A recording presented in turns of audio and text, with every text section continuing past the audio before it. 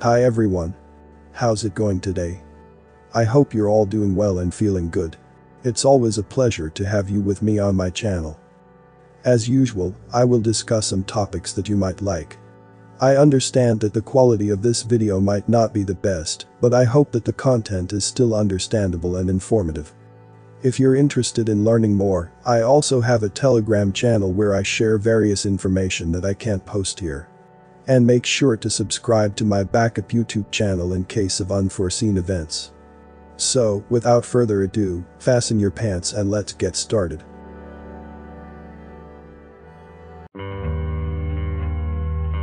All of a sudden, the vast plains that we all live on is starting to go a bit nuts.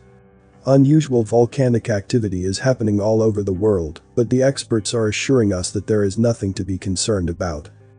But, could it be possible that they are wrong? After you have reviewed the information that I provide in this video, come to your own conclusion. To me, it definitely appears that what we are currently witnessing is not normal. Right now, volcanic activity is causing a brand new island to emerge from the Pacific Ocean, just off the coast of Japan's Iwo Jima Island. Here's a report from livescience.com. A newborn island that recently emerged from the Pacific Ocean after an underwater volcanic eruption is now visible from planes, images from the European Drone Agency reveal. The drone images show the new landmass sitting around 0.6 mile off the coast off Japan's Iwo Jima Island. The submerged volcano began erupting on October 21, with activity ramping up over the next 10 days. By October 30, explosions were taking place every few minutes, according to a translated statement. The eruption threw large lumps of rock into the air and shot a jet of gas and ash over 160 feet almost vertically above the water's surface. Needless to say, a new island is not born very often. I have been warning my viewers about the alarming rise of volcanic activity in our oceans, and this is yet more evidence that something really strange is taking place down there. But when it comes to Japan, there is another volcano that I believe is far more of a threat.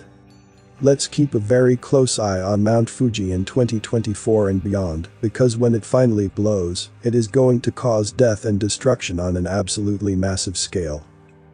Meanwhile, in Iceland residents of the town of Grindavik are being evacuated because thousands of earthquakes have raised concerns that a volcanic eruption may be imminent. Some residents of the southwestern Iceland town of Grindavik were allowed to briefly return home Sunday to quickly gather essential belongings and pets left behind when evacuations were ordered, amid thousands of earthquakes that have rattled the region and raised concerns that a volcanic eruption may be imminent.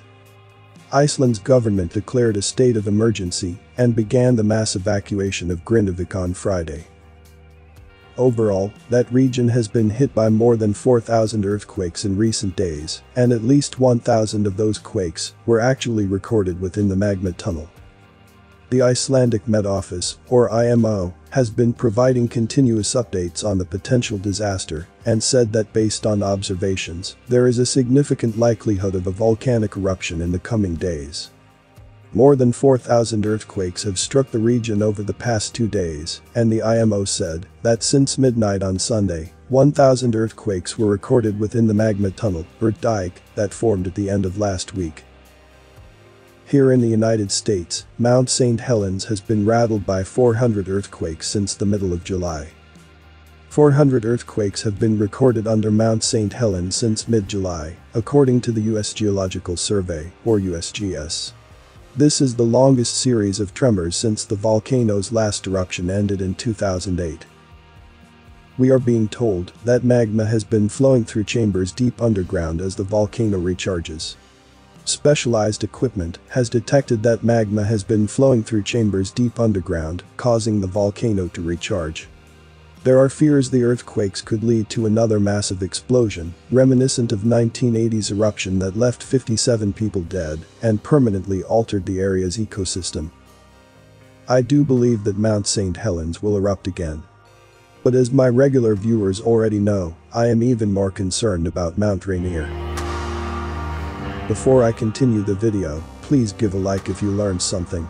Also, don't forget to subscribe and click the notification bell so you won't miss any update.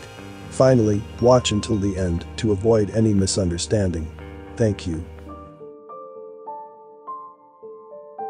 On the other side of the world, seismic activity has been regularly shaking an absolutely massive supervolcano, known as Campi Flegrei. It is now the site of multiple volcanoes that have been active for 3,000 years, many of which lie underwater.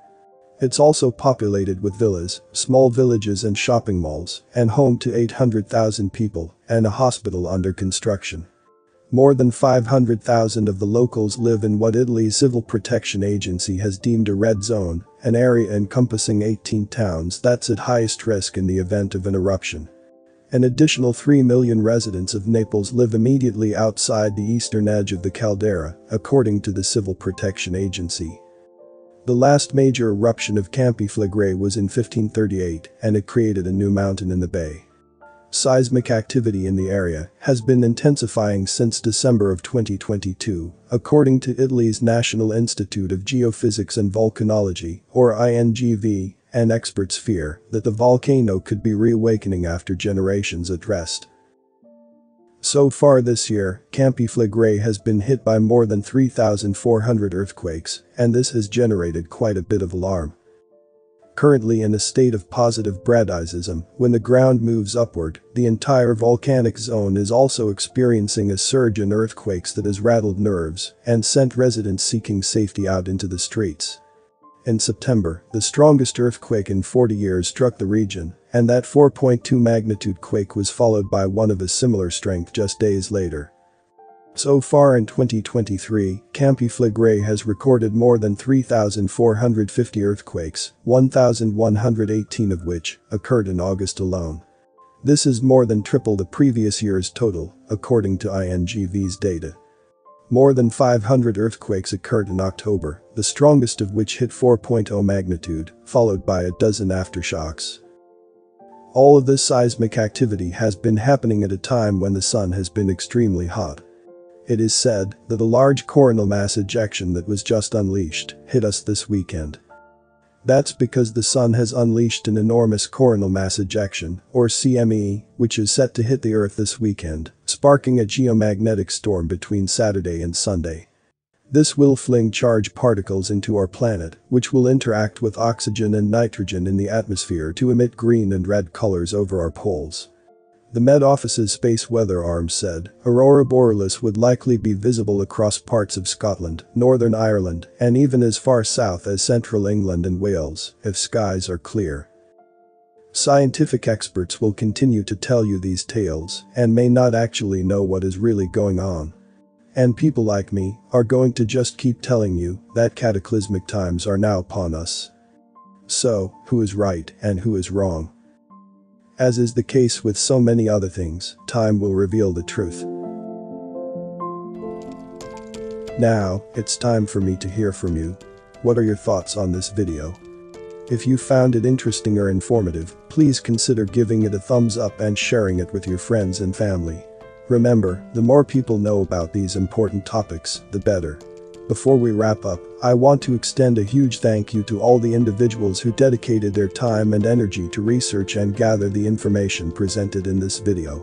Their efforts are truly commendable and have helped shed light on important topics that affect us all. Make sure to hit the subscribe button and turn on notifications to be notified when the next video is uploaded. Thanks for watching and I'll see you in the next one.